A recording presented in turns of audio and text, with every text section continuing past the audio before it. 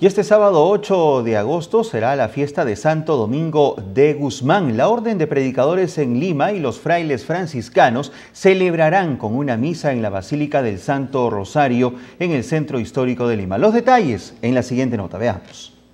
Con mucha alegría, la Orden Dominica en Lima se prepara para celebrar a su fundador, Santo Domingo de Guzmán, con una misa solemne este sábado 8 de agosto. El prior del convento de Santo Domingo de Lima, padre Luis Enrique Ramírez, manifestó que el carisma de esta comunidad religiosa es la predicación del Evangelio. Eh, especialmente lo que él recibió como inspiración del Espíritu Santo y que también es aporte para toda nuestra iglesia, ¿no? El carisma de la predicación que vivieron pues también nuestros santos peruanos y muchos otros santos alrededor del mundo. Según la tradición y escritos de esta comunidad, Domingo de Guzmán y Francisco de Asís, a través de una visión, se conocieron y se cuenta que en la Basílica de San Juan de Letrán en Roma se dieron un abrazo. Por eso son los religiosos franciscanos quienes celebran la misa del fundador de los dominicos.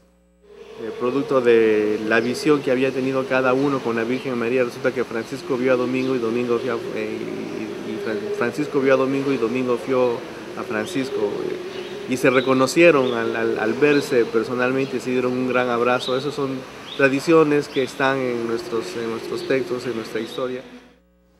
La Santa Misa en honor a Santo Domingo de Guzmán se realizará este sábado 8 de agosto a las 7 de la noche en la Basílica del Santísimo Rosario, ubicada en el centro de Lima.